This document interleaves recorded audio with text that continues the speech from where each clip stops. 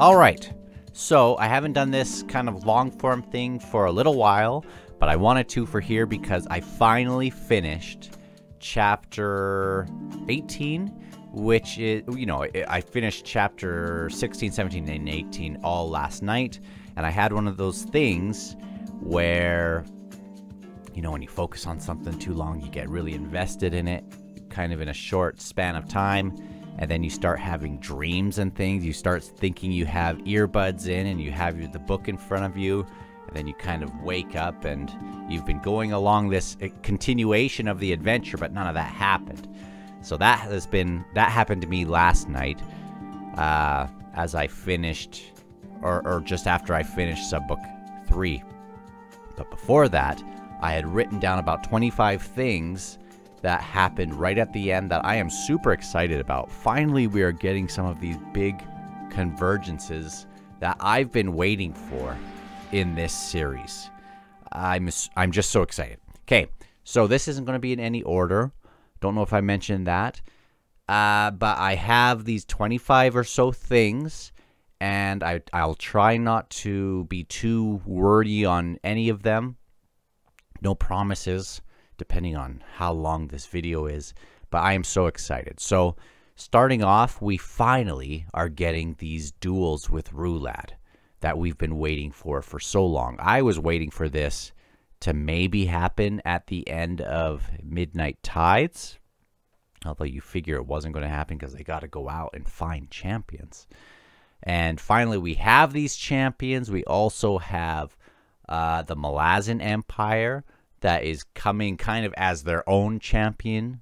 You know, they're not going to go one soldier at a time. They're going to just challenge Rulad, and they are on this mission against the Edur, not really understanding yet what is really happening in in uh, at Lether. The Lethri are really the ones that are involved, and it's just it's just crazy. It's so cool. Oh, I gotta write something else down so I don't forget it. Uh, so we're having those. We they have the order.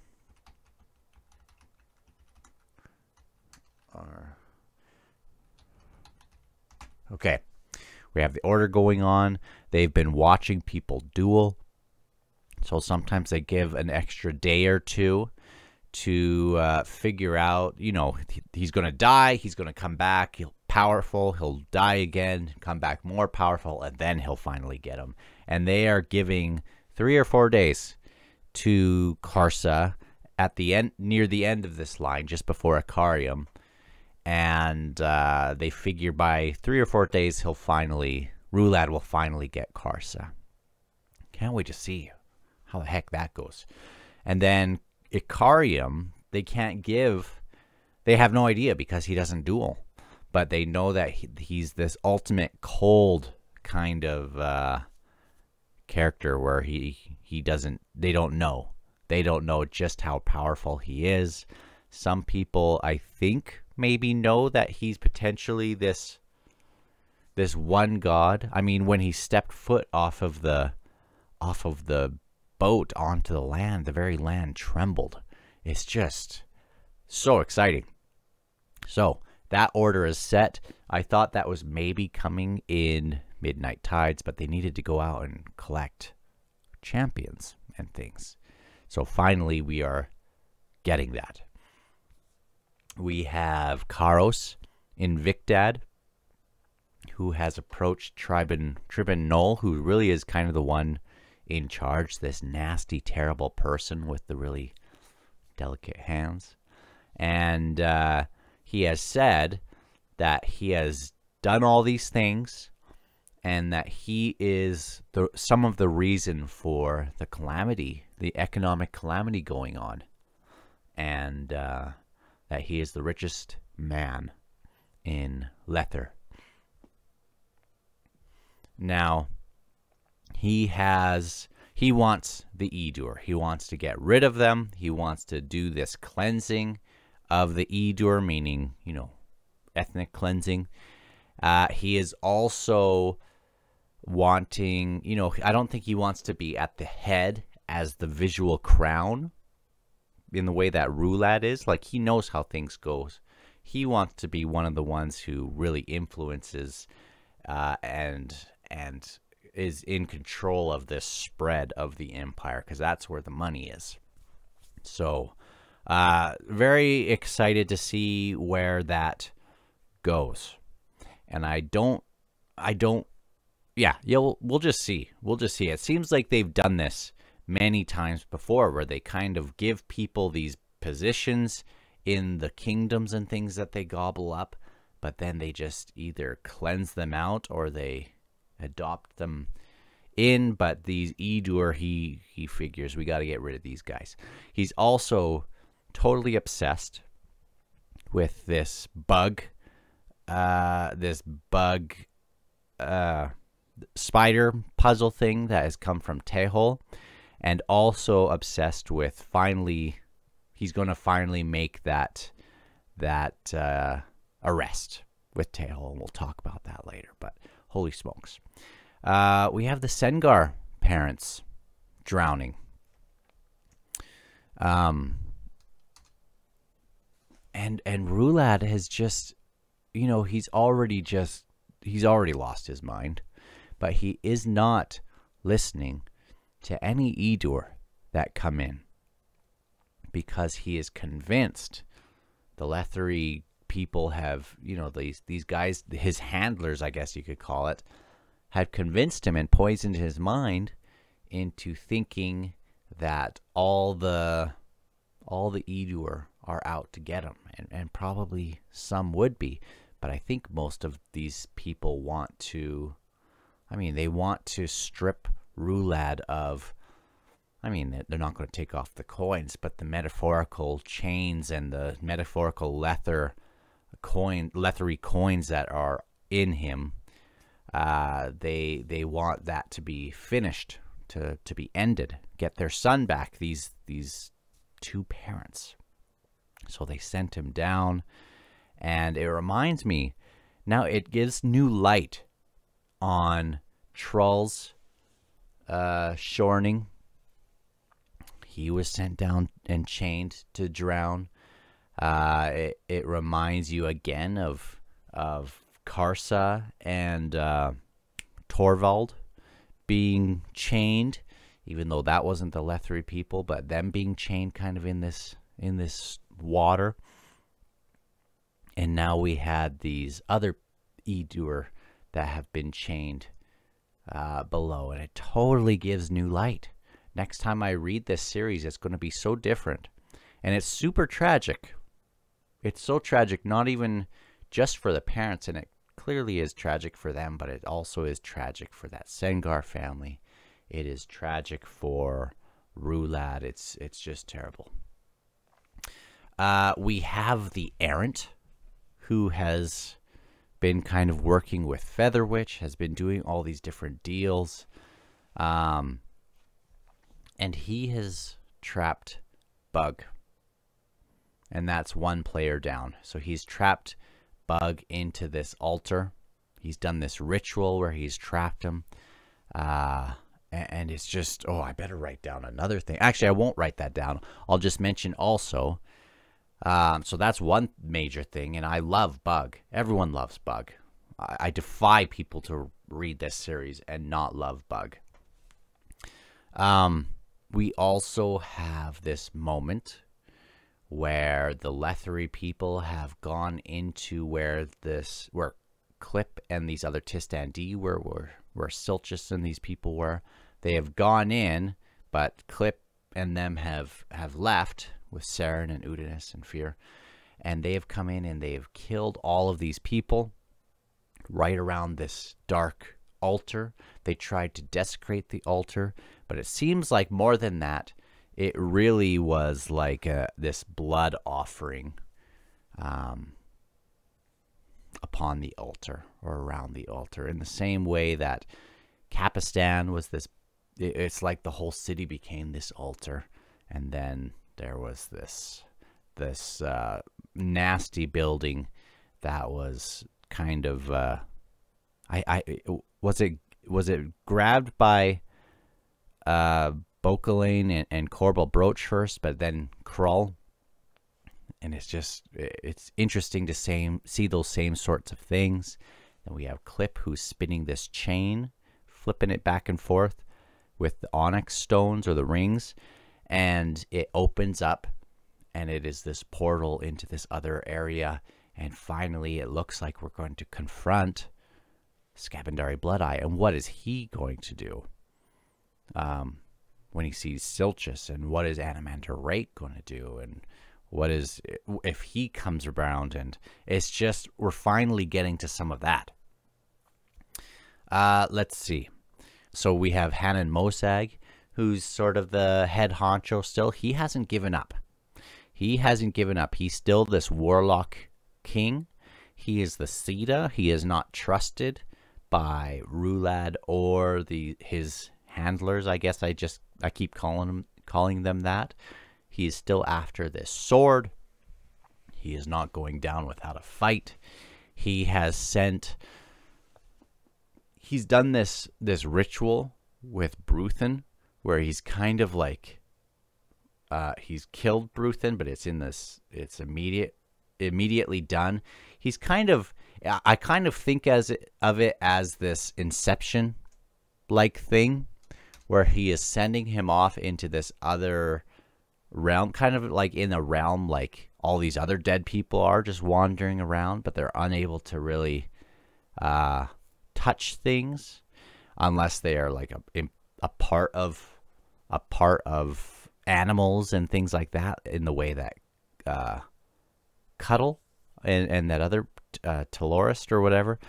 Um, I, I'm a little bit confused about them, but it's like he's sending him into this other realm to to start working for him, and he's not going down without a fight. We have Tehol and Janath finally arrested by uh, by Tanal. I wonder how that's going to go. Um, you, I have to think. I have to think that in the end, though, um, Tehol will have the upper hand in all this. And I have to think that also probably Tavor will have the upper hand in all this. But who knows? Who knows? We have Ublala's chickens, which was hilarious. That was just before this. Ublala's chickens and Tehol and Janath and well, it's actually it's actually Tehol's chickens, but Ublala's been plucking them alive. And he has one inside of this pillow that he's keeping for later and he's been eating them head first. And it, like it's a hilarious scene right before right before all this. Anyway uh, i want to know what happens when Icarium finally does his thing uh, i get big time anime vibes with that guy where it's like I, I how powerful is he what happens when he finally uh, does something. But I mean, we've seen we've seen Trull kind of step into his path, and Trull's still around. So so what's going to happen? Oh, and that reminds me, I haven't even written this down. We had Saren um, being in an argument with with Udinaas, and then she kind of summons Hull, like in her mind, but it's actually like happening where he's choking Udinaas. And then Trull shows up and kind of batters him. And so we have fear and people seeing this. It's not just in her mind, they're seeing this. So, really, there is this connection between these other realms. And, and again, I will, I will talk about that there's a really amazing scene. Uh, I think this was in chapter 18, but there's this amazing scene we'll talk about. It's that one with Hedge and Emroth. And that is one where we finally start to get a little bit deeper into what is going on. Finally. Um, we have Red Mask, who's definitely this hot iron person. And he is uh, he's crazy and wild, and we have Toc on that side. Um, they're finally engaging with the Lether. the Lethri, I guess. We have the Malazans using their Moranth munitions, which is always exciting. Uh, Fiddlers there, they use these Moranth munitions against those. Uh, uh, now off the top of my head, I forget the names, but those demons that were in chap or in Midnight Tides that were just kind of. There's a couple that are just chilling in a house, and they they throw these munitions at them right at the head, and it still doesn't like break their head open and things like that. They, uh, not many things can withstand that. So I'm excited to see what happens as they start kind of pushing through into this area. And I was kind of annoyed when they showed up because I was really invested in the stuff over here, but this other front is is just so exciting. We have Tavor already speaking with some of the people from the Lether, uh, the Lethri area, the this from Lether, uh, with the Shake person with Twilight, and she is from this tribe who kind of uh, guarded the coast. Remember, that's kind of a sacred space for some people between the unknown and the known, the sea and the land. And they would be along this western coast. And I believe, uh, even though she doesn't know of of all of their history, some of these other, uh, who was it? I can't remember who's the one that knew all this. Dead smell, whatever bottle. Um, he uh, they would be there to kind of gather up some of the K'Chain Che'Malle that would come from the water, the babies that weren't claimed or, or something, claimed by the matron. Things like I, I'm not I'm not exactly sure how that went. But it's interesting because they are already she's already making deals with people or seeing what their intent is if the Malazans were to help out. What what is their intent? You know, when when Rome would come through, or when Persia would come through, or when Egypt would come through, or where Babylon would come through, or you know, they would come through, and yes, they would rule, but they would set up these vassal kings, and that's uh, that's what would sometimes get people in trouble. It's like you better, you better. Egypt might come in and and say you better, you better work for us now, right? You better send taxes and things like that to us. And then Babylon might start to get more powerful, and then they stop doing the taxes to Egypt, send it to Babylon, send it up to wherever. And that gets them in trouble. So she is saying, What are your intentions if we help you set up this kingdom? You know, re- reclaim your kingdom. And her brother and her half brother is thinking other things. Anyway, it's very interesting interesting to see that because in the first book we had uh, the Malazan Empire just taking over. Laseen's like, go take them over. Uh, and so they're having the siege and da da da da da. Um, book two is is them rebelling and things, but it's it's nice to get this really early look on them literally arriving on the coast uh, we've had all these different looks.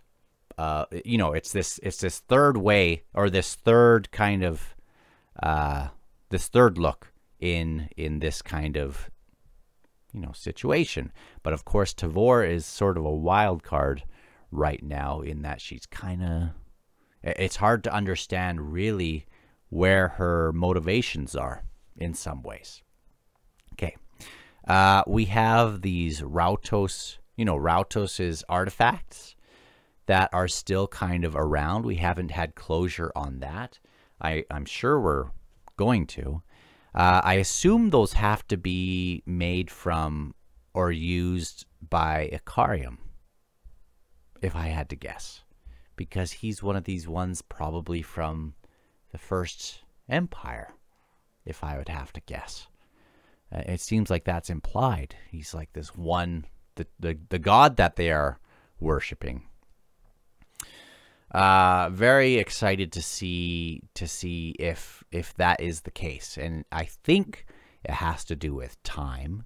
What happens when he finally gathers these things, and and do does time kind of get all funky? Do we actually go back in time?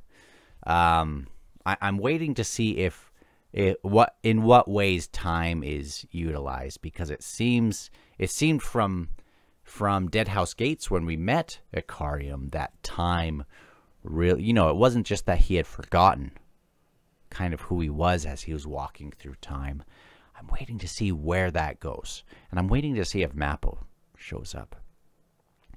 Uh, we have this amazing moment with Karsa grabbing Icarium's arm, kind of confronting him and and recognizes something in him, recognizes some Toblakai in his parentage.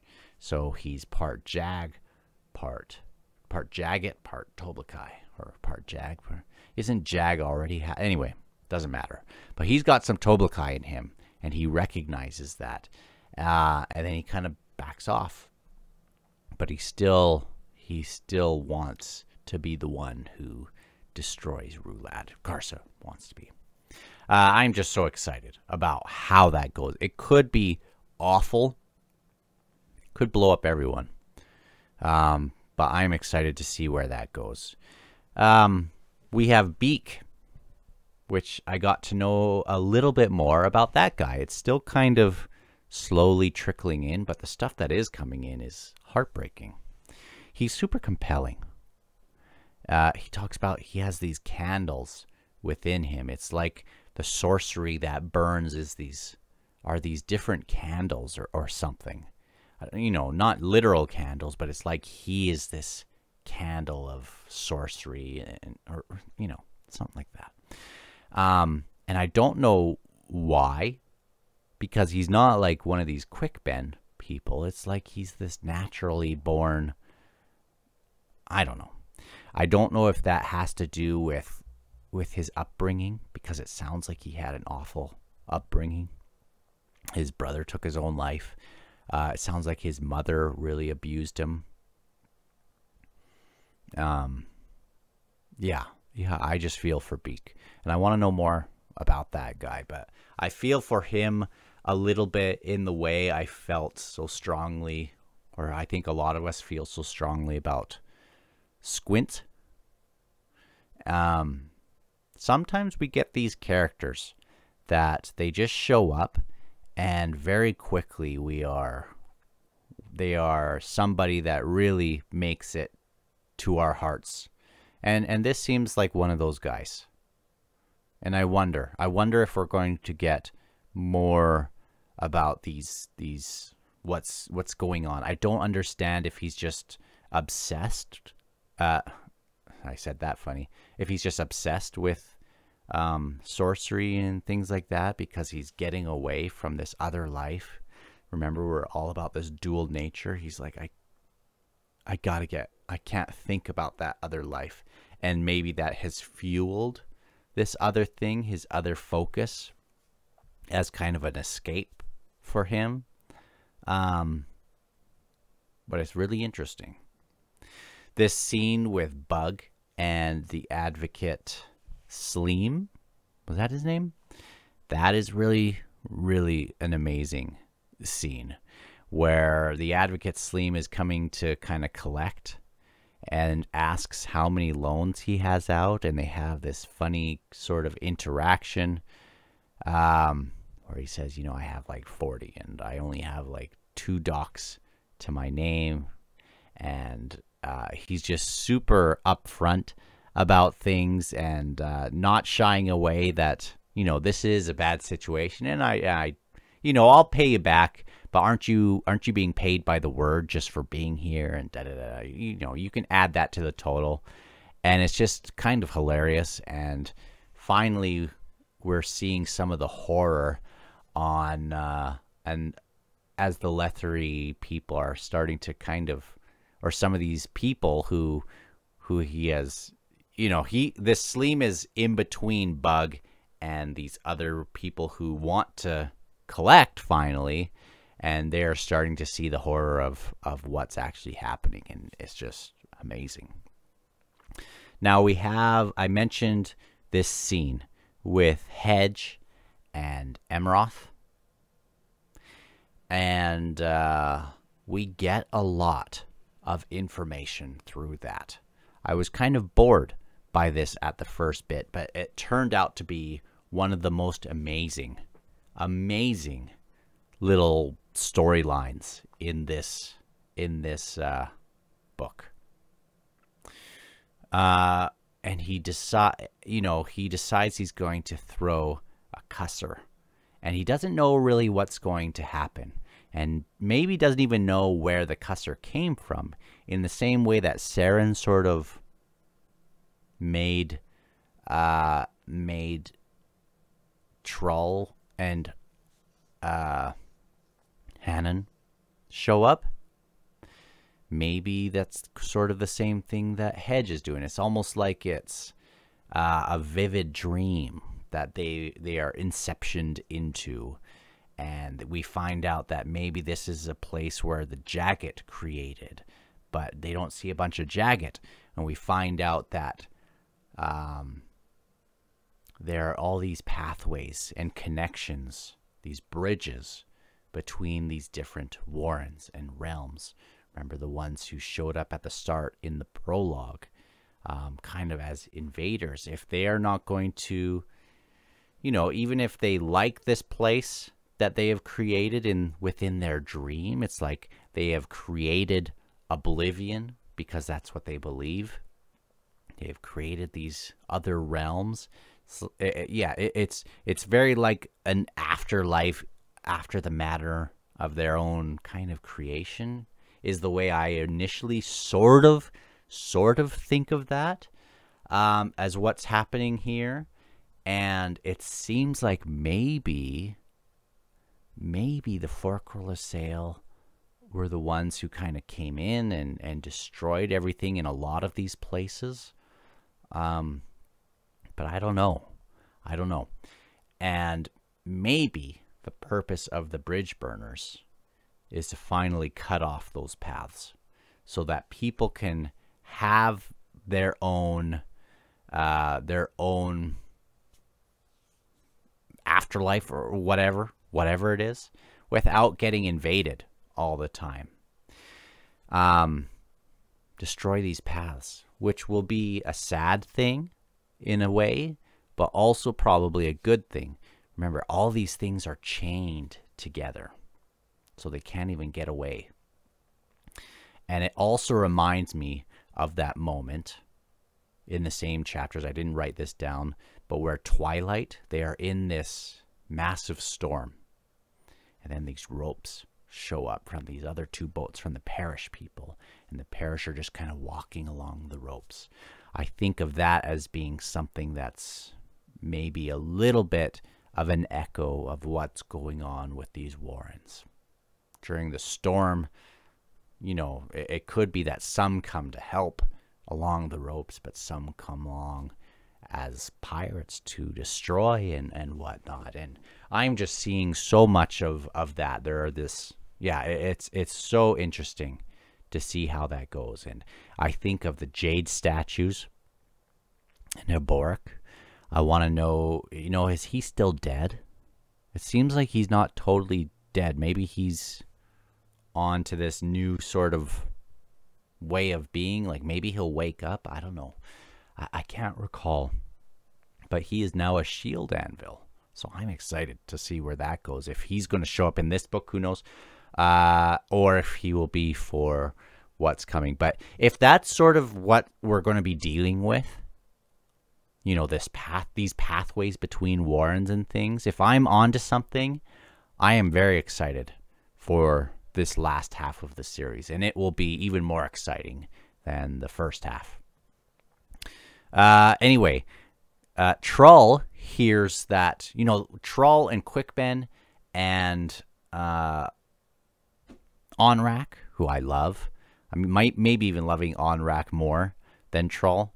Uh, they hear the cusser, Hedge's cusser, I think, because at the very end, as they are and they're in Talan, where that ritual, that vow, kind of doesn't exist.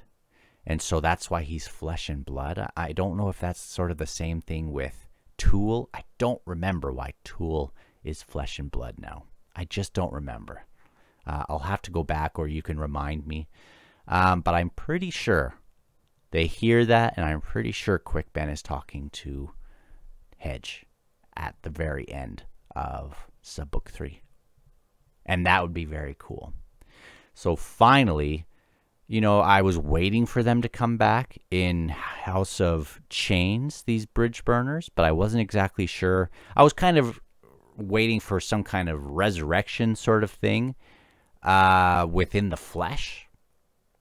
I didn't really anticipate this kind of other realm sort of spirit thing, which is still sort of a connection.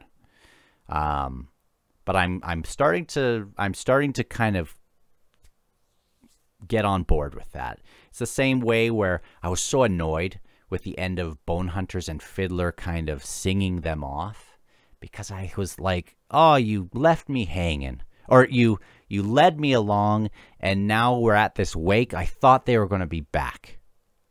But that I mean within his own mind, maybe that's what was happening as this this um you know, the Tanno spirit the the Tanno song, the Spirit Walker or whatever, um, did this song, and then Fiddler, uh, becoming Fiddler, does this song. Really, it was a beautiful moment that I was just an idiot, and there were a lot of real life things that were kind of stressful when I was reading that, so I just maybe wasn't in the great spot for for that last part, but really, it was an amazing, amazing moment. And uh, I know that I, I bugged a lot of people by how kind of annoyed I was with that moment. But I've come around, or I'm starting to come around more, I should say. Uh, let's see. I think I've talked about everything. Oh, Toc.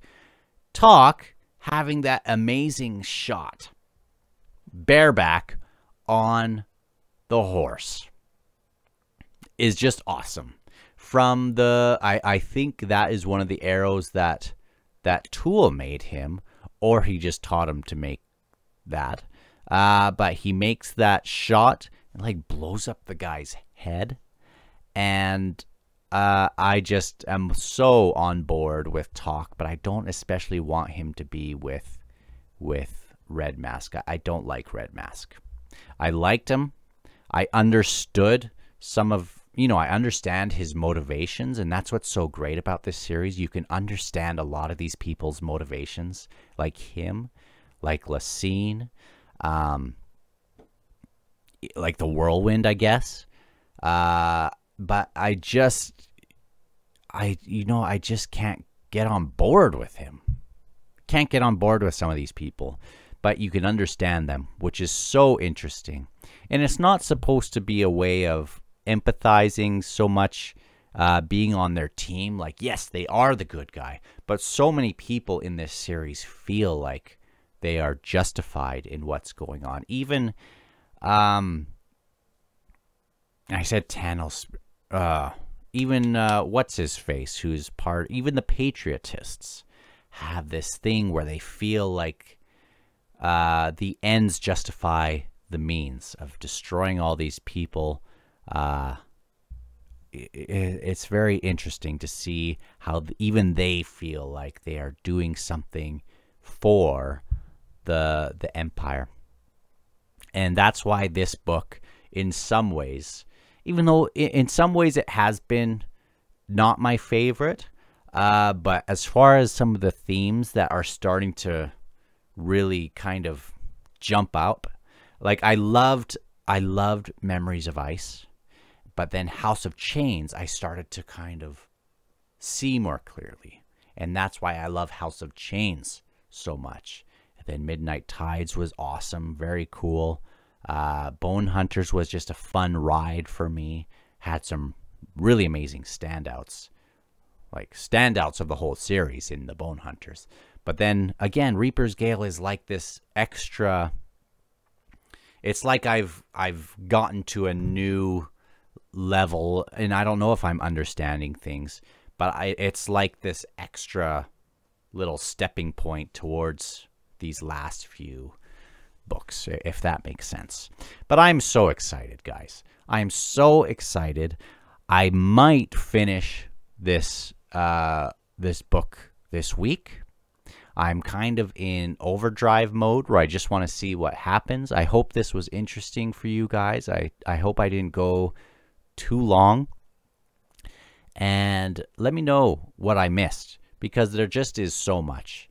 And again, I, I went to sleep and I started to have these vivid sort of imaginations of what was going on.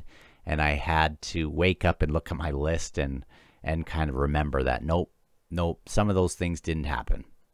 Maybe they will happen, but they're not. And I just can't wait. I can't wait for the end of this book, and I can't wait to go right into Toll the Hounds. I've been thinking maybe of doing something in between again, just to once again kind of let my give me a chance to kind of come down from Reaper's Gale and give a chance to kind of reintroduce that hype again. I think that was good last time, but we'll see. And uh, I will talk to you guys on the next one, whenever that is.